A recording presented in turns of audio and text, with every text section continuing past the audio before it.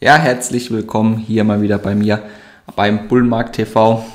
Heute schauen wir uns wieder ein Unternehmen genauer an, nämlich Caring und schauen dabei, ob Caring mehr als nur Gucci ist, denn wir reden hier tatsächlich über ein Luxusinvestment, denn Caring ist ein direkter Wettbewerber auch zu LVMH und entsprechend natürlich auch bei sehr vielen Luxusmarken vertreten, welches das Unternehmen dann vertreibt, welches genauer sind schauen wir uns dann gleich noch an, wenn wir aufs Geschäftsmodell gucken.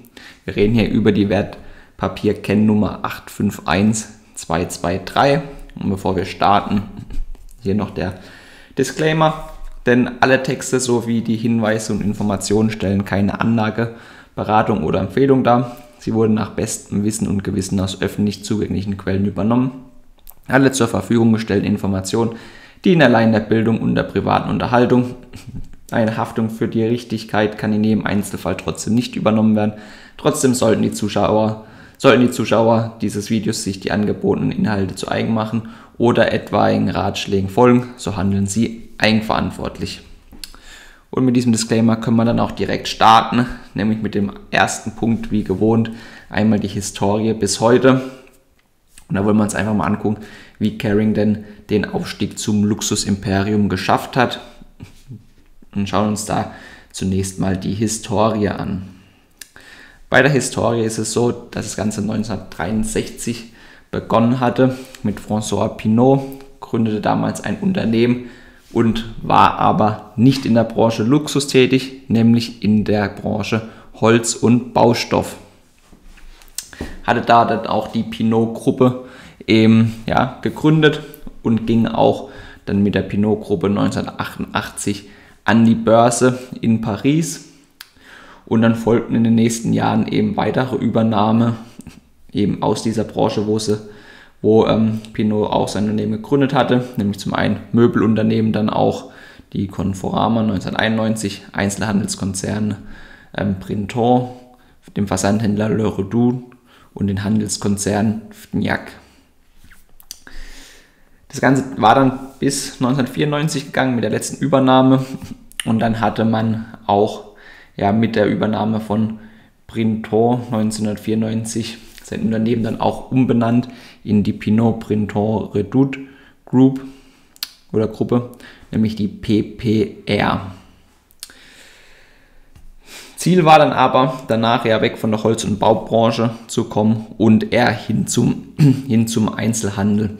Sieht man ja hier auch, es war ein Einzelhändler, Versandhändler, wo Pinot aufgekauft hatte und das war das neue deklarierte Ziel. Dann ging es weiter mit 1999. Man ist hier beim Handel geblieben und hatte sich gedacht, man kauft sich eine Marke direkt, nämlich die Luxusmarke aus dem Modebereich Gucci. Ja, allerdings war hier eben die PPR, also Pinot Gruppe, nicht der einzige Interessent, nämlich da gab es noch einen anderen ja, namhaften Franzosen, nämlich Bernard Arnault vom Unternehmen LVMH. Kennen bestimmt auch die meisten von euch, wenn ihr jetzt hier dieses Video euch anschaut. Und ja, da gab es halt damals in 1999 eine Übernahmenschlacht.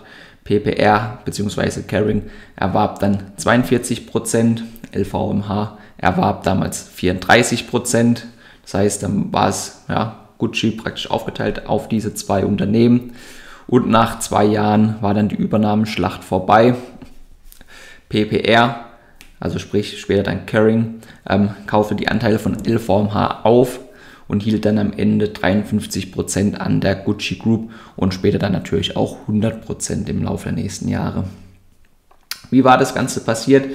Eben, Caring hatte ja, strategisch gut gehandelt dann, hatte die Anteile von LVMH dann auch verwässert, sodass sie am Ende noch 20% hatten. Es gab diverse Gerichtsverhandlungen, ja, und am Ende war halt einfach ja, die PPR Group oder Caring, äh, wie es später hießen, dann ja als Sieger auch hervorgekommen. Und wir werden auch später sehen, wie wichtig denn Gucci für Caring ist. Dann ja, im, im, in Folgejahren ja, waren wie viele weitere Übernahmen von Luxusmarken angestanden. 1999 eben auch zeitgleich Yves Saint Laurent auch eine sehr wichtige ähm, Marke für den Konzern. Dann Boucheron 1999, dann Bottega Veneta eben 2001, Balenciaga 2001, Alexander McQueen 2001, Brioni 2012, Kilin 2013, Pomelato 2013 und ebenso auch Dodo im Jahr 2013.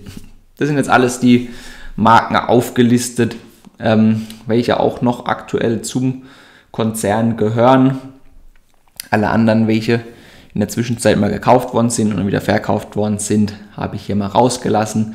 Denn da spricht man auch teilweise über eine Beteiligung bei Puma, bei ähm, Volcom, also diesem, ja, dieser Skater-Marke und noch diversen anderen Marken, welche dann aber zum Beispiel auch wieder verkauft worden sind. Ja, ab 2005 war dann auch François Henri Pinot der neue CEO, eben der Sohn und ja, hat sich dann voll dem Luxus verschrieben, hat gesagt, kein Einzelhandel mehr, sondern wir trimmen Caring komplett auf Luxus und hat dann praktisch alle anderen Geschäftsbereiche, also die Handelsketten und so, wieder verkauft. Ich habe aber auch im Zuge der Analyse gesehen, die Familie Holding hat dann zum Beispiel noch eine Beteiligung an FNIAC, ähm, was ja hier vorhin auch ähm, bei, bei der vorherigen Seite war, auch eine Handelskette. Eben 2013 änderte das Unternehmen den Namen zu Caring, war dann also nicht mehr PPR, sondern Caring. Und 2015 hatte man ähm, einen weiteren Geschäftsbereich praktisch im Konzern integriert, nämlich Caring Eyewear. Da geht es ums Brillengeschäft. Schauen wir uns später aber auch noch im Detail an, ähm, was da alles dazugehört. Gehen wir kurz auf die heutige Situation ein. Caring hat eine Market Cap von 70,5 Milliarden Euro bei einem Kurs von ungefähr 563 Euro, hat in Summe 42.800 Mitarbeiter und erzielte im Finanzjahr 2021 einen Umsatz von 17,6 Milliarden Euro. Die Aktionärsstruktur ist mit 41,7% die Artemis Group, 53,5% Institutionen und 4,2% private Investoren. Artemis Group habe ich hier auch hervorgehoben, ist nämlich praktisch die Familienholding, ähm, wo die Familie Pinot ja, ihre ganzen, ja, ihr ganzes Vermögen und Beteiligungen etc.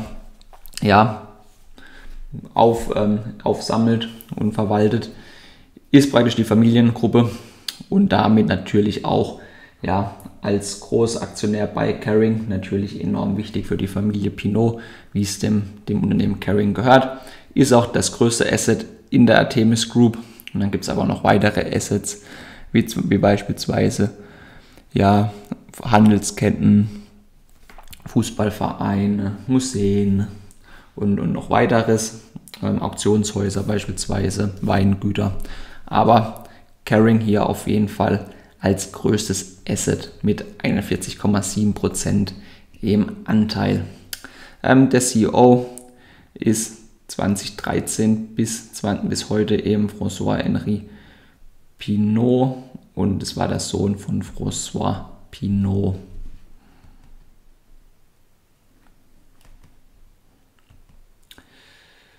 Im Geschäftsmodell, der nächste große Punkt hier wollen wir uns mal gucken. Luxus als krisensichere Anlage. Ich habe auch ein Zitat mal mitgebracht. A multi-brand model built on a long-term approach and creative autonomy of our houses. So, zunächst Caring, mehrere Marken wollen diese Marken langfristig ausrichten auf Erfolg, wollen jeder Marke eben ja eine kreative Autonomie geben, sprich jede Marke kann für sich selbst dann auch schauen, was für sie am besten ist und die am Ende alle unter dem Hause Caring zusammenführen und dann ja möglichst auch noch ja, Verbundeffekte über die einzelnen Marken, zum Beispiel Kommunikation etc., Marketing eben vielleicht dann auch gemeinsam nutzen. Ihr werdet hier auch eben das ein oder andere Mal jetzt das Wort Haus sehen, also Häuser. Ähm, der, eine, der eine oder andere kennt es vielleicht aus dem Kino, House of Gucci. Hier ist es so in der Modebranche oder in der Luxusmodebranche, dass ja so Marken oftmals auch als Häuser dann deklariert werden. Deswegen hier Houses sind im Endeffekt die Marken.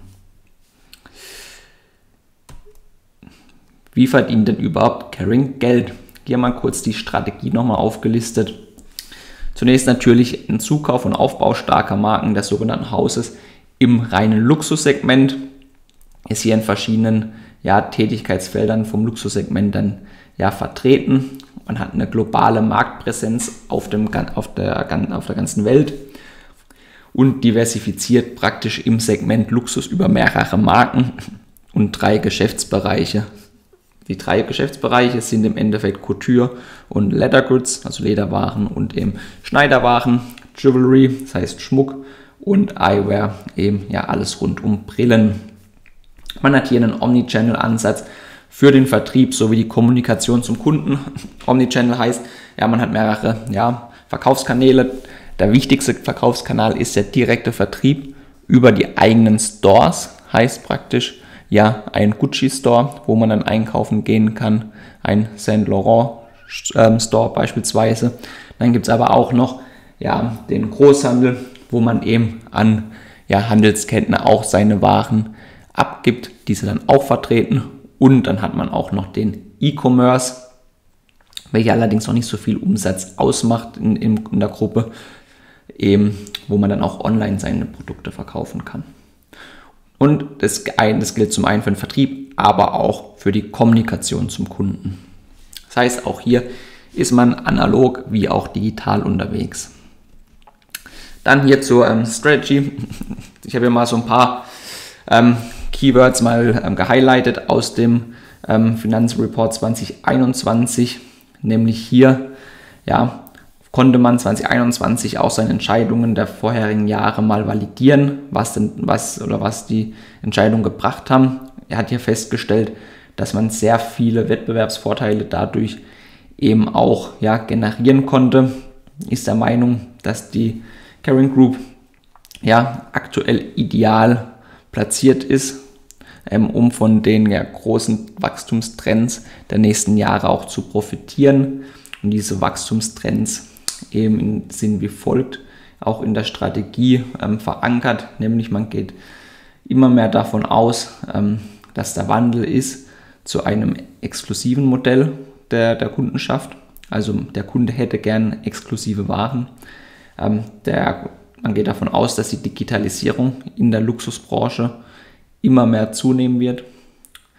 Ähm, man geht davon aus, dass auch ja, die Erwartungen der Kunden immer mehr ansteigen, welche halt auch für Kreativität ähm, ja, einen Anspruch haben, aber auch für das persönliche, ja, die persönliche Erfahrung im Kaufprozess, in der Kundenberatung, eben die Emotionen dann auch zum, zur Marke aufbauen werden. The emergence of a new generation of consumers geht davon aus, dass halt auch viele neue Konsumenten den Markt beitreten, eben viele Neureiche beispielsweise, viele aufstrebende eben Nationen, wo der, wo der Luxus dann auch ermöglicht wird.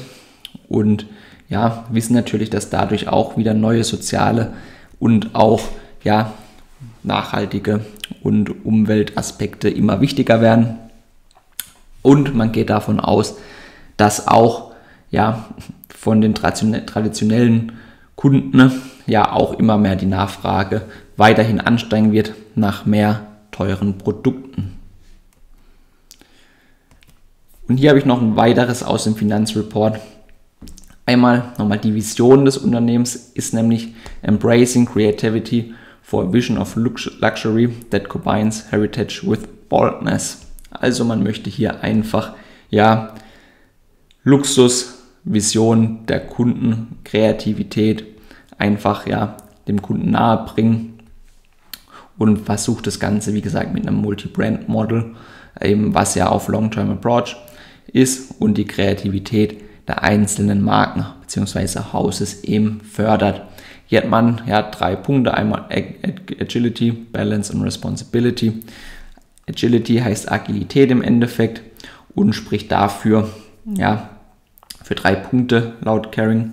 Einmal Constancy heißt, ja, man ist konstant, heißt auch, man hat einen starken und stabilen ähm, Hauptaktionär, nämlich Caring, ähm, hat ein, ja, Hauptaktionär, nämlich eben die Gruppe von Pinot. Und Transformation gehört noch zur Agilität dazu, was ja im Endeffekt auch gezeigt worden ist, dass dadurch das Unternehmen sich seit 2000 ja komplett dem Luxus verschrieben hat und alle anderen Aktivitäten auch ja abverkauft hat und somit ja auch eine Transformation dann entsprechend ja gut geschafft hat. Dann haben wir noch den zweiten Punkt Balance gehabt. Balance eben ist nochmal ja, der Ansatz für dieses Multi-Brand-Model, sodass man ja eine gewisse Balance hat und nicht nur von einer Marke oder so abhängig ist. Und hier hat man ja eben diverse Häuser laut Caring, wo alle erfolgreich sind, wo wachsen und wo ja führende Player in der Luxusbranche in ihrem eigenen Gebiet halt eben sind. Und mit diesem Multi-Brand-Model möchte man halt ja auch diversifizieren und entsprechend eben und entsprechend ja, das Risiko auch fürs Unternehmen senken. Genau die Strategie ist dann im Endeffekt ja, das, das komplette Potenzial der Luxusbranche ja, auszuschöpfen und stärker als der Markt zu wachsen. Der Luxusmarkt ist ein, ist ein weiterhin sehr stark wachsender eben Markt über die letzten Jahre gewesen. Habe ich da nochmal auch eine Grafik mit dabei. Und die Value Chain ist dann halt auch, man möchte ja, Vorteile einfach bringen gegenüber dem Kunden. Eben sei es Kreativität, Weiterentwicklung in der Produktion, im Marketing. Genau. Und dann, ja, Financial Priorities ist, man möchte organisches Wachstum natürlich haben über die Marken hinweg. Man will immer solide profitabel sein. Man möchte starken Cashflow generieren und möchte dann auch sein Kapital entsprechend allokieren. Das heißt, Allocation praktisch ist möglichst gut nutzen und ausgeben. Dann schauen wir uns jetzt mal den Markt nochmal im Detail an. Der Luxusbereich umfasst nämlich laut der Definition eben jetzt die folgenden Segmente, über die wir sprechen, sind einmal Lederwaren, Parfüm und Kosmetik, Kleidung, Uhren, Juwelen und Schmuck, sonstiges wie Brillen und Accessoires. Wir haben jetzt hier nicht dabei Autos, auch nicht dabei Hotels oder Immobilien, sondern hier geht es eigentlich rein um die Sachen, was eine Person tragen kann. Ist auch seit Dekan ein wachsender Markt. Hier einmal die Grafik dafür. 1996 praktisch hatte, hatten die Luxusgüter, die ich gerade aufgezählt hatte, einen Umsatz von 76 Milliarden Euro. Und jetzt im Finanzjahr 21 hatte man 283 Milliarden Euro für den Markt der Luxusindustrie. Das heißt, man kann ja im Endeffekt mit dem Markt allein organisch mitwachsen. Es hat hier eine Steigerungsrate von 5,4% gehabt, über diese Jahre in den letzten fünf Jahren nur 3,01%. Und Caring möchte eben auch stärker als der Markt wachsen, sprich möchte also organisch natürlich stärker wachsen, das heißt Marktanteile gewinnen, aber vielleicht auch anorganisch, sprich auch neue Unternehmen dazu kaufen. Ja, Markenimage und Brand Awareness ist enorm wichtig im Luxusmarkt. Die Assoziierung der Kunden mit der Marke und dem Thema Luxus steht hier im Vordergrund.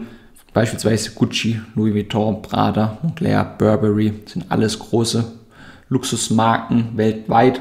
Und wenn ein ja, Kunde das kauft, dann möchte er auch Luxus kaufen, explizit Luxus kaufen.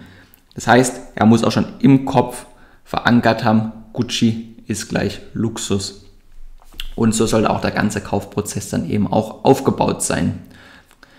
Ähm, der Luxusmarkt ist nicht für die Masse gedacht, also nicht irgendwie ja, HM vergleichbar, Nike vergleichbar, Adidas vergleichbar, wo der übrige Lagerstand dann einfach auch per Sale verkauft wird, sondern hier ist man explizit darauf aus, das Angebot nicht zu groß zu haben, so dass man nicht den Markt überschwemmt und würde dann lieber auch Waren vernichten, bevor man sie günstiger verkauft. Wenn man sie günstiger verkauft, dann ist sie für den Konsumenten am Ende nicht mehr so viel wert und die Leute sind nicht mehr, da, nicht mehr bereit, so viel Geld dafür auszugeben, weil es kein Alleinstellungsmerkmal mehr ist. Ganz wichtig. Eben, der Luxusmarkt hat gute Wachstumsaussichten, beispielsweise durch die Schwellenländer und dem ähm, ja, Wachstum des Vermögens dort, den Zugang der Marken zu neuen Kulturen etc. Und jetzt habe ich hier nochmal ja auch Graphen dabei. Einmal den Umsatz in die Produktkategorie, das heißt die wichtigsten Produktkategorien im Bereich Luxus sind eben Lederwaren, gefolgt von Kleidung, Couture also, Parfüm und Kosmetik auch mit 21% und dann ja, machen wir mal 14% Uhren weiter und dann um die 8% Schuhe, Juwelen und sonstiges. Die regionale Vertretung ist so, dass Europa 25% des Luxusmarktes ausmacht, Amerika 31%, Asien in Summe 39%, darauf fallen 21% auf China, 7% auf Japan und 11% auf den Rest von Asien und dann den Rest der Welt, beispielsweise Afrika etc., dann nochmal 4%. Wie ist jetzt der Umsatz von Caring aufgegliedert? Mal zum Vergleich. Europa hier 22%, hier hatten wir 25%, das heißt hier ist man weniger vertreten.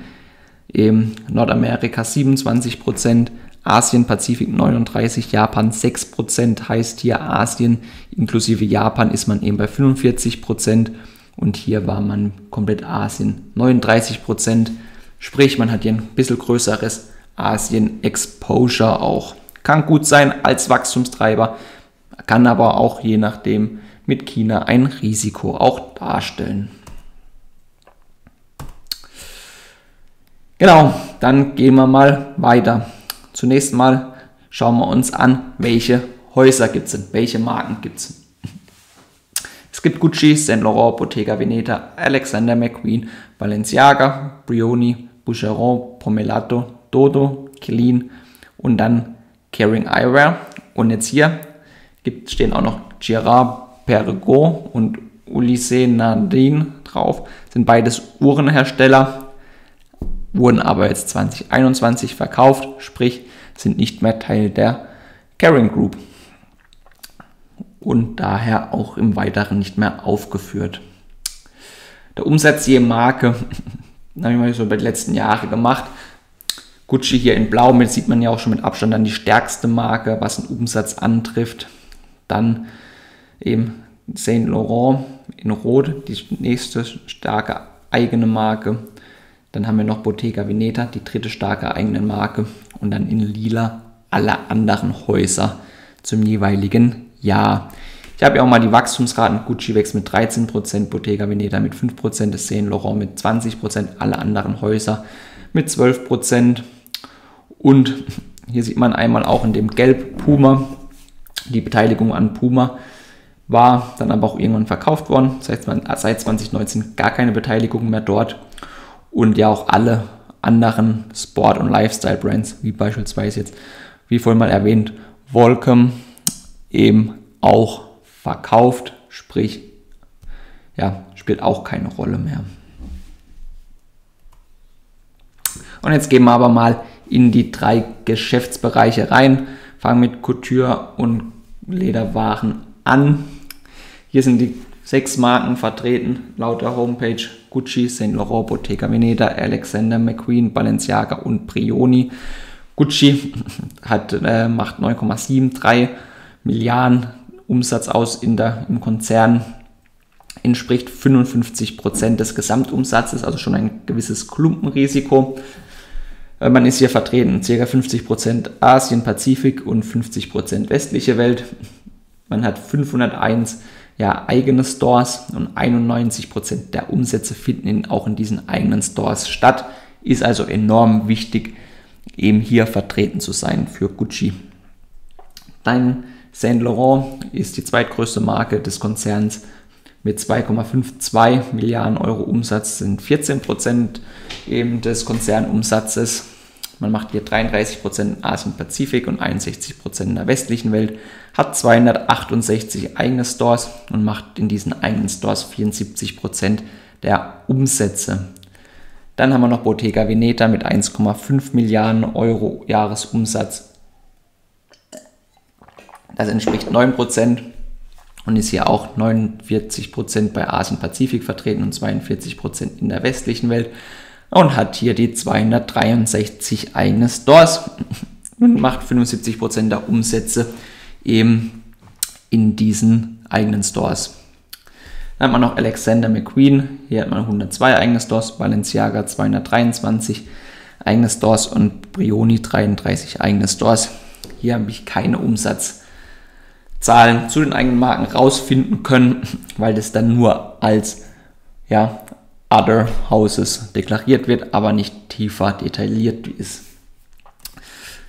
Ja, die drei Marken, die man oben sieht, Gucci, Saint Laurent und Bottega Veneta, machen 78% des Konzernumsatzes aus und lediglich 22% entfallen auf alle anderen Marken aus dem Bereich Couture und Lederwaren, aus dem Bereich Schmuck und auf Caring Eyewear. Hier habe ich auch nochmal spaßeshalber mal auf den Seiten im E-Commerce geguckt bei Gucci, äh, Saint Laurent und Co. Und einfach mal geguckt, was kann ich denn da so maximal ausgeben. Gucci kann auch eine Handtasche bis zu 25.000 kosten, ein Gürtel bis zu 930, Kleider 6,3, Mantel 9,8, ein T-Shirt 980, ein Dessous-Set 750, bei Saint Laurent eigentlich ähnliche Kleider, Röhrenkleid 3190, eine Umhängetasche 2400, ein Mantel 8500. Bei Bottega Veneta auch eine Umhängetasche 2200, ein Kleid 3300. Brioni, welche Anzüge machen, beispielsweise für Männer, kostet ein Anzug auch um die 3500. Bei Balenciaga finde ich es eine Marke, die man ja immer mehr jetzt auch sieht, vor allem bei jüngeren Leuten, haben ja auch Kooperationen mit Fortnite etc. Da gibt es ja wirklich auch so ganz klassische ja, T-Shirts, die ein bisschen oversized sind vielleicht und einfach nur auf der Brust Balenciaga dann draufsteht. Und ich habe mal geguckt, was so ein T-Shirt kostet. 495 Euro, nur damit da ein Logo auf, auf der Brust ist. Und dann haben wir noch Alexander McQueen, machen beispielsweise Kleider für 4000 Euro. Hier habe ich mein Ranking ähm, auf, von der Internetseite Lüst also LYST, ähm, mir rausgezogen, die, die sogenannten Hottest Brands eben jedes Quartal auswerten, also was die angesagteste Brand. Und hier ist eben ja Caring ein paar Mal vertreten, nämlich auf Platz 1 und 2 Gucci und Balenciaga. Dann aber auch noch eben beispielsweise ja, auf Platz 16 mit Saint Laurent und auf 17 mit Bottega Veneta. Heißt ja, hier hat man schon gewisse ja, Marken sehr gut etabliert und ist bei den Hottest Brands im jeweiligen Quartal sehr weit vorne. Dann schauen wir uns mal das nächste an, Jewelry, das heißt Schmuck. Ähm, hier werden die folgenden Marken laut Caring eingeordnet. Einmal Dodo aus Italien mit 22 eigenen Stores, Kelin aus China mit 38 eigenen Stores, die sich auch alle in China eben befinden. Boucheron aus Frankreich mit 49 eigenen Stores und Pomelato aus Italien auch mit 58 eigenen Stores. Ja, und beispielsweise bei ist hier auch ja, die Strategie oder die Expansionsstrategie bei Boucheron stand dabei eben ein High-Quality Retail Network zu haben. Das heißt, man möchte es nicht überall vertreiben, sondern wirklich nur da, wo Leute hingehen, die teuren Schmuck kaufen möchten. Also nicht in der nächsten Schmuckboutique hier in der Stadt, sondern wirklich nur da, wo auch der Schmuck entsprechend was kosten darf. Dann haben wir noch die Caring Eyewear. Wie gesagt, es geht, hier geht es eben um Brillen, Caring Eyewear wurde 2014 gegründet. Unter diesem Namen werden 15 Marken vertrieben. Denn hier werden nicht nur die eigenen Marken von Caring vertrieben, sondern man hat ja auch Kooperationen beispielsweise mit Richemont, eben wo, zu dem dann auch Cartier, Chloé oder Dunhill gehört, hat auch hier explizit im ja, Brillengeschäft auch Marken zugekauft, wie jetzt 2021 beispielsweise den dänischen Brillenhersteller Lindbergh, der zu 100% integriert wurde und dadurch ja, entstehen praktisch die folgenden Marken bei Caring Eyewear, Lindberg, Gucci, Cartier, Saint Laurent, Bottega Veneta, Balenciaga, Chloé, Alexander McQueen, Montblanc, Brioni, Dunhill, Boucheron, Pomelato, Ayala, McQueen und Puma. Zusätzlich wird jetzt auch im, also im nächsten halben Jahr 2022 Maui Jim zusätzlich integriert. Hier konnte ich beim Umsatz zumindest für 2022 eben das erste Halbjahr etwas rausfinden. Heißt, da wurde nämlich geschrieben, Revenue of Carrying Eyewear and Corporate Segment in the first half of 2022 amounted to 591 million. Das heißt ja, so knappe 600 Millionen Euro Umsatz. Rechnen wir es einfach mal hoch auf ein Jahr, sind wir bei 1,2 Millionen Euro Umsatz. Ja, bezogen zum Gesamtumsatzanteil sind wir ja, sagen wir mal so, bei 4 bis 5 Prozent vielleicht. Das war es mal so zu Geschäftsmodell. Wir schauen uns jetzt mal die Zahlen an, nämlich die Kennzahlen, der Umsatz hier. Wie gesagt, in 2021 war es 17,6 Milliarden Euro TTM, das heißt Trading 12 Month, die letzten vier Quartale sind wir bei 19,53 Milliarden Euro. Market Cap beim aktuellen Kurs 70,35 Milliarden. Wir haben Earnings per Share, ähm, TTM 29,53. Dadurch ergibt sich ein aktuelles KGV von 18,9. Wir haben Kursumsatzverhältnis von 3,58, eine Profit Margin von 18,87% und eine Dividendenrendite, wenn ich sie heute kaufen würde, die Aktie von 2,15%. Jetzt schauen wir uns mal die Umsatzentwicklung entsprechend auch dazu an. Die habe ich jetzt hier mal seit 2012 mitgenommen, dadurch, dadurch dass ja davor ja auch mal die ganzen Handelsketten verkauft worden sind etc. Habe ich jetzt den, ja, den Graphen nicht so ähm, weit in die Vergangenheit gemacht, sondern mal ab 2012 und hier hatte man eben 2012 noch 9,7 Milliarden Euro Umsatz und 2021 ja gute 17,6 Milliarden Euro Umsatz ist. Ich denke, ab nächstem Jahr, wenn wir bei 10 Jahren sind, kann es gut sein, dass man sich dann verdoppelt hat über diesen Zeitraum. Ansonsten hatte man ja im Schnitt über den Zeitraum 6,83% jährlich gewachsen und bezogen auf die letzten fünf Jahre 7,34% Wachstum. Man sieht ja auch im Corona-Jahr ist es leicht eingebrochen, dadurch, dass vor allem der Einzelhandel halt auch, ja, natürlich nicht so einfach zugänglich war. Der Tourismus hat drunter gelitten und viele Leute kaufen ja auch gerade ein, wenn sie ähm, reisen, beispielsweise ein Asiate, der nach Europa kommt gehe dann gerne auch, wenn er in Paris ist, vielleicht mal in einen Gucci Store, in einen ja, Louis Vuitton Store vom Wettbewerber etc., kauft sich da etwas und hat dann eine extrem lange Erinnerungsdividende auch daran. Nämlich erinnert sich daran, ah, schön im Urlaub in, in Europa, in Frankreich, habe ich mir eine Louis Vuitton Handtasche gekauft. Und sowas, ja, ist halt auch nicht passiert 2020.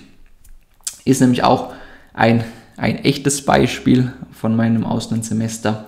Damals in Asien hat es nämlich auch eine Dozentin mal erzählt, ähm, die ganz stolz auf ihre Louis Vuitton Handtasche war, die sie mal bei ihrer Europareise gekauft hat.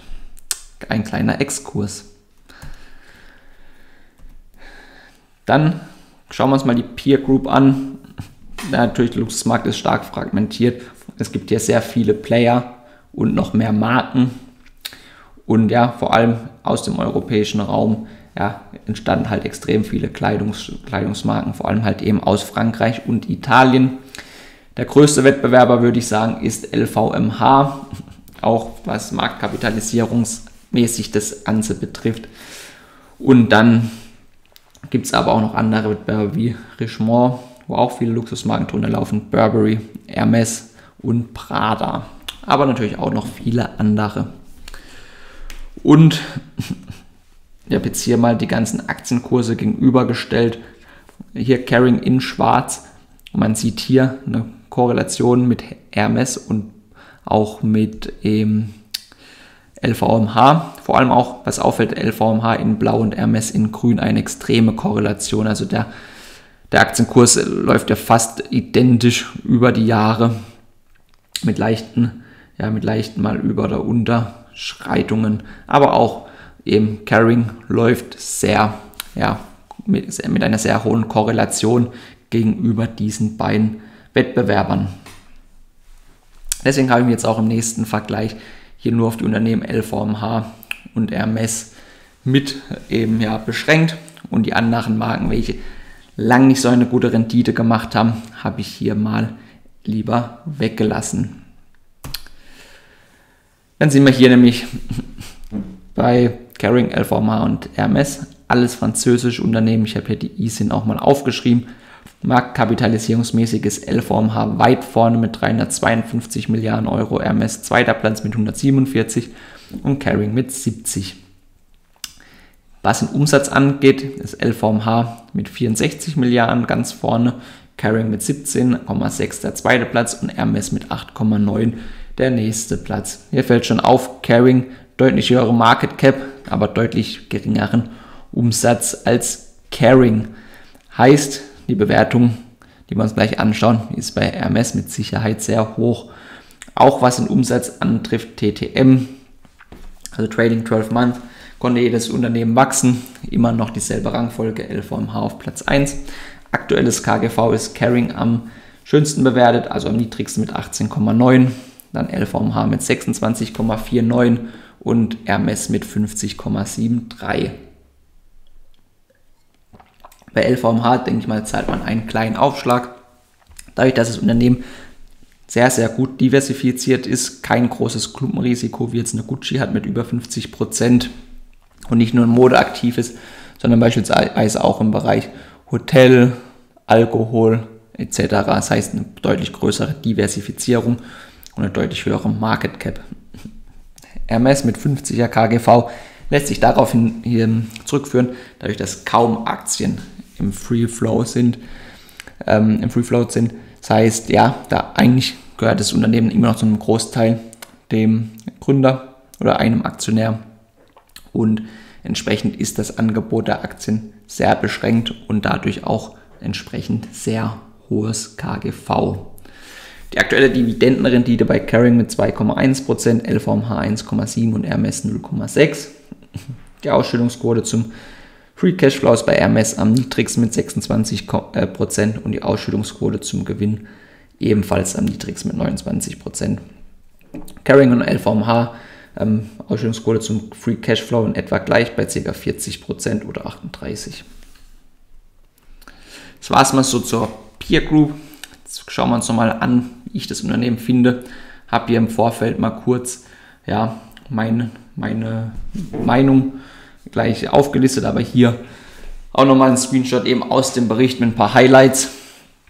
Was ich sehr gut fand, das hat jetzt der François Henri Pinot zu einem Halbjahresergebnis gesagt, nämlich The group delivered sharply higher sales in the first half of 2022. Sprich, in der ersten Jahreshälfte 2022 konnte man sehr gute Umsätze machen. Das heißt, Inflation kein Problem. Man konnte die Preise weitergeben. Man hat eine solid performance in retail around the world, more than offset the impact of COVID-related measures in China in second quarter. Heißt auch, die, ja, man hatte solide Performance, konnte auch den Impact der, der, von Covid in China auch abfangen. We intensify our engagement with local customers across all markets and we are also leveraging the nascent rebound in tourism in Europe. Auch hier der Tourismus, der in Europa wieder vonstatten geht, wird genutzt, was ich vorhin mal kurz angesprochen hatte. Tourismus auch für ja, den Luxuseinzelhandel sehr wichtig. Each of our houses contributed to the strong double-digit increase in group operating income. Das heißt, jede Marke konnte zweistellig wachsen prozentual, leading to expanded margin. Auch die Marge konnte erhöht werden für Caring als Ganzes. In a period of heightened macro uncertainty, Caring is in a great shape to surmount short-term challenges, take advantage of new opportunities. Das heißt, es gibt viele Ungewissheiten, aber Caring geht es sehr gut. Man ist sehr positiv gestimmt, eben ja die Herausforderung anzunehmen und ist sich sicher auch Vorteile zu bekommen oder wahrzunehmen, welche sich eventuell ergeben könnten. New Opportunities. Könnte ich mir vorstellen, dass sie darauf vielleicht anspielen, neue Marken zu kaufen die vielleicht ja im Zuge des ja, schwachen Aktienmarktes, der schwachen wirtschaftlichen Lage dann vielleicht auch günstig erworben werden können. Könnte ich mir zumindest vorstellen. Deswegen, das stimmt mich sehr gut, eben dieses Zitat auch von, eben von dem ja, CEO. Aber nichtsdestotrotz noch ein paar eigene Punkte von mir. Ich denke, der Luxusmarkt ist sehr krisenresistent. Der Kundenkreis hat in der Regel viel Geld. Von daher ist es eigentlich ein sehr gutes Investment in diesem Markt ähm, rein zu investieren, egal welche Firma. Aber bezogen auf Caring komme ich gleich dazu. Ähm, der Luxusmarkt an sich hat auch ja, weiterhin gutes Wachstum. Man erwartet hier 2025 mit einem der 360, bis 380 Milliarden Euro eben, dass der Marktwert ist. Heute sind wir noch unter 300 Milliarden, ich glaube 280 waren es ungefähr. Das heißt auch noch gutes Wachstum voraus. Ähm, die Inflation betrifft dieses Segment nicht so stark wie andere. Thema Preiselastizität ist hier nämlich niedriger. Eine Preiselastizität ist die Auswirkung eines Preisanstiegs auf die Nachfrage. Bei Luxus ist ja eher umgekehrt. Je höher ähm, das Produkt ist, desto ja, begehrter ist es teilweise. Trotz allem ist man hier von wenigen Marken abhängig bei Caring. Haben wir ja vorhin gesehen mit den drei Marken. Eben, ja, hauptsächlich Gucci mit 55%, dann Saint Laurent Bottega Veneta ist man schon sehr, sehr weit. Ich glaube, man 78%. Äh, man hat globale Umsätze, ist daher auch von China-Lockdowns und dortigen Gesetzen betroffen. Ja, globale Umsätze ist natürlich positiv. China ja, hat man ein gewisses Risiko mit drin dann ist die Bewertung aus meiner Sicht aktuell fair, vor allem zum, ja, verglichen zum aktuellen Wettbewerb auch. Haben wir ja gesehen bei der Gegenüberstellung. Man hat hier Potenzial im E-Commerce. Da die Caring Group aktuell noch 15% Umsatz dort macht. Allerdings kann ich auch das Wort E-Commerce im Luxussegment sehr schwer einordnen. Nur da gerade im E-Commerce natürlich das Erleben dieses Kaufprozesses wichtig ist. Ne? Wenn man in so Louis Vuitton oder Gucci Store reingeht, keine Ahnung, dann bekommt man einen Champagner vielleicht, könnte ich mir vorstellen. Wird beraten, lässt sich das noch personalisieren. Das ist ein ganzer, ganzer Prozess. Ne? Man kauft ja was im Wert von einem Kleinwagen im Endeffekt.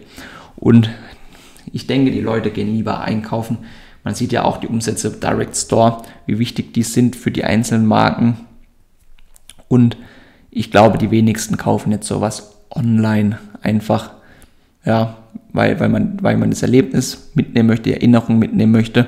Allerdings kann es natürlich sein, dass mit den vielen Neureichen auch und jungen Leuten, die digitaler aufwachsen, das sich auch ändert. Kann ich leider nicht einschätzen. In westlichen Ländern sind wir bei 23 bis 25 Prozent, was eben ja, der Umsatz im E-Commerce bereits anmacht, auf Gruppeebene aber nur 15 Prozent.